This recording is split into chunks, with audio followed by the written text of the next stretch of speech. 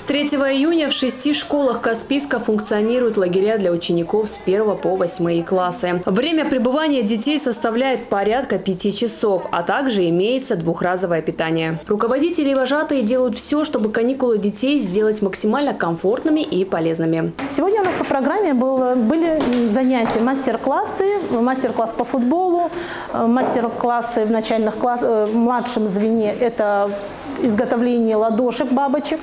Мастер-класс был э, конкурс рисунков в среднем звене и музыкальные паузы были в старших отрядах. С самого утра ребят ждут зарядка, утренняя линейка, игры, прогулки, занятия по интересам, а также оздоровительные процедуры. Каждый день для детей проходят разнообразные мероприятия. Накануне в школе номер 9 состоялась встреча под названием «Культура и традиции народов мира и Дагестана». Очень масштабное мероприятие было, включая гостей. Исполняли песни разных народов.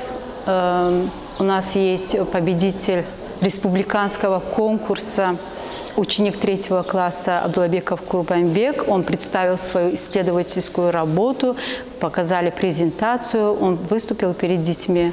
Но это как бы получается э, стремление получить э, знания знать и не забывать свои культуры и традиции. Работа в лагерях проходит по 14 модулям. ЗОЖ, самоуправление, работа с вожатыми, родителями, профориентация и многое другое. Помимо этого проводится воспитательная работа патриотической направленности, социальной и гуманитарной эстетической. Как отмечают руководители лагерей, детям нравится проводить время в кругу своих сверстников, а родители рады, что дети проводят полдня без гаджетов. Честно говоря, родители вот в группах девочки пишут, что очень довольны в основном основном вот 3-4 классы, когда дети тянутся к телефонам. У нас вожатые, если вот мы зайдем в среднюю группу, мы, вы увидите на столах расположены телефоны. Дети, приходя в лагерь, сдают телефоны, чтобы во время занятий в лагере они не находились в телефонах. И вначале дети как-то не хотели это как-то они, ой, нет, а я не хочу без телефона, что я буду делать?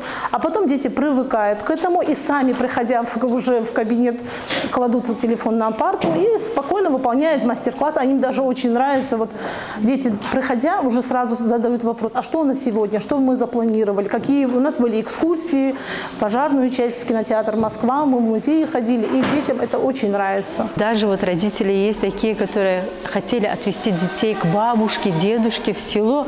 Нет, говорит, мы хотим в лагерь.